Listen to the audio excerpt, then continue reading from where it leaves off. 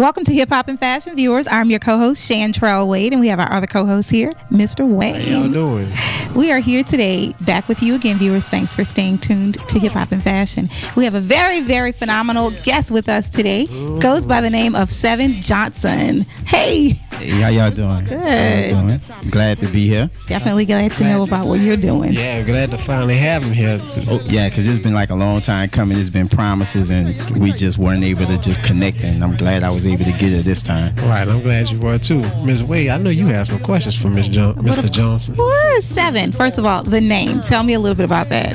Well, first of all, um, my middle name is S E V Y N, and I started out with rapping at first, and my rap name was seven six five six, which is Polo. Like if you look on the phone, so everybody always thought it was that, like that seven. And so me getting into this is just I just kept the number wise, and you know it just it's just something I think stick with a lot of people. Okay. Wow. So tell our viewers what is it exactly that you do?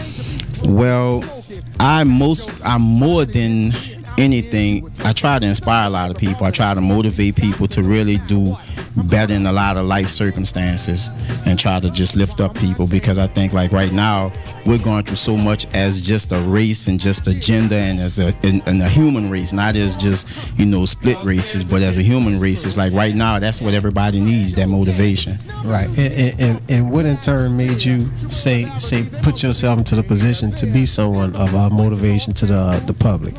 Well, I didn't. Um, what happened was I I got on Facebook because around uh, last year, around oh well 09, um, coming into 10, um, our daughter had a, her second open heart surgery, and so a few friends, about 13 of my friends, that we used to do like the little Doc Neen thing for our alumni, and they wound up joining Facebook because everybody got put off the Doc Neen thing. So we want they got Facebook, so they was like, well, just keep us abreast of what was going on with her on Facebook. So like, if a lot of people would go all the way down my wall, most of my posts are just like she's still in surgery or she's doing this, and so from that, I started just putting like fake quotes, and from those fake quotes, it just started picking up, and I went from doing five a day to doing 35 quotes a day. 35. Yeah, I think I did like 35 quotes a day for five straight months. Oh my gosh. That's a lot of quotes. Well, it is, but it's also motivational, and I mean, it's inspiring. I know. Right. Yeah. Right. And, and could you could you share with us some of the, the stories from from those quotes? How you inspired people via the uh, quotes? Well, um, I would say well two two of the the, the things I, I think that stick out to me is um a, a lady that was in Centralia, Illinois. She was going through something with her husband, and they were two different races, and he wound up going to a federal prison. And his family took the kids, and she hadn't saw them for like 16 years or something like that.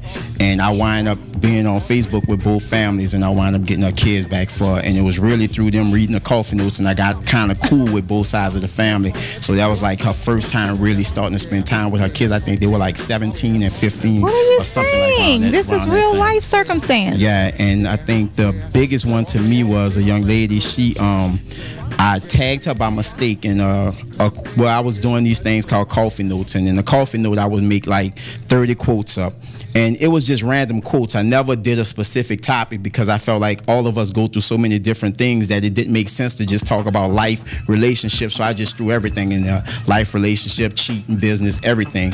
And so I had I did a quote, and I, I don't remember the quote because I got like six thousand quotes, and you might could put one on your wall, and I say, "Oh, that's a nice quote," and don't even know it's mine. I, I don't I don't memorize all of them, but the quote kind of was like. I kind of describe falling in love like committing suicide. Like if you fall in love and someone's not there, even though you did it for the reason you thought was right, it's too late to turn back and you just have to deal with it. So I kind of compared it to suicide. Oh. And she was on Facebook about to tell her friends that she was going to kill herself. And about a month later, like I tagged her by mistake, about a month later, she sent me an inbox to talk to her and her mom. And they kind of told me the story that the quote kind of changed and she started reading all the coffee notes. I love it. I, I'm speechless, and that's something that I'm usually not. That's sure. she ain't lying. She's not lying yet. I'm serious. It's so heartfelt, and I, I thank you for doing what you're doing. Obviously, I'm getting on your page because that could help me float about. right, right, right. And and even even throughout all, all of that, I just want to share, if you don't mind, let me share one thing that you are a product of the public school system. Yeah, I went to Cohen, and I think it's funny because um, last year I traveled to I think um, I think either 38 to 42 states, 60 something cities, and upon doing that, it looked like every time I would say I went to Cohen because we have so many people that's kind of still displaced as in other places. And when they hear somebody from New Orleans come somewhere, they'll invite me to an event or something like that. And the first thing they'll be like, You went to Cohen? Like, Cohen is a bad school. And I kind of understand that. And I think that we take for granted that we have talents in public schools and we give up on them. And I think, like, right now, that's what they're doing with Cohen. Now they're trying to fight to keep Cohen open because it's kind of is not doing what it's supposed to do. But long story short, like, I came from Cohen, and like I'm not, you know, I'm proud to say I'm, i came from Cohen because I represent it right. Mm-hmm. And upon me going everywhere I go, I also represent New Orleans. So if it's if it's Cohen, I have to represent in New Orleans. I represent New Orleans as a high school in other states. All right, all right. So you said like 38 states. Yeah, I think New about Orleans 38 and 40 building. States. I'm telling you. So you're representing New Orleans and all those places. Yeah, and it's uh, it it has gotten past that because now I had to get Skype and I got Skype because I started talking to people from Africa and London, and so now it's like six countries. So oh, it's, wow. it's Ms. Wade, I, I, you know, I, I have had the pleasure of of because upon first meeting him, I'm not gonna lie, he told me he did all those courses there. I'm like, okay, he had too much liquor in here or something. but he started talking. He started doing quotes right there while we were talking. And if you wouldn't mind, just just if something from the past, or just it, yeah. just share something with the viewing audience so they can actually know what you actually do. And to be honest, is I can't even say I just like I could people put me on the spot and a quote come up. Right. What it is, it'd have to be a conversation because if right. you notice, you and I had a conversation, and I start I talk in quotes now.